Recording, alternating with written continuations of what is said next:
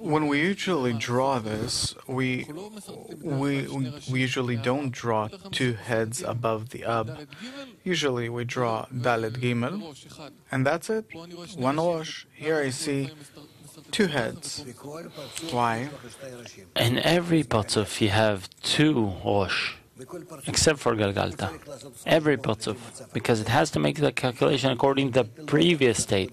But Galgalta didn't have a previous state she got. Her Rosh is Malchut Sof. That restricted itself and decided to make a Masach, and it's all in the same Rosh. Whereas every time you have the Reshimo from the previous state, you have to take into account and what's going on right now. Yes?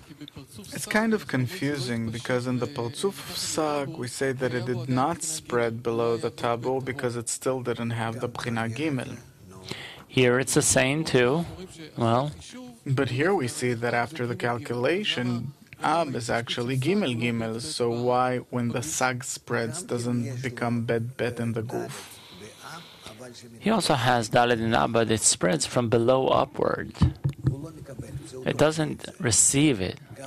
He pushes it away. Sag too, he he won't receive Gimel. That's why Gimel is in him.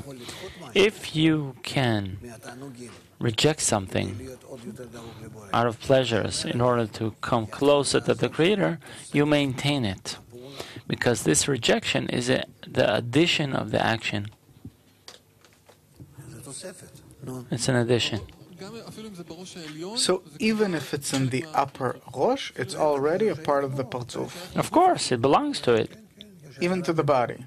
Yes, yes, there's an illumination in the Guf. Meaning we don't we don't draw it, but it belongs. Suppose, yes. More?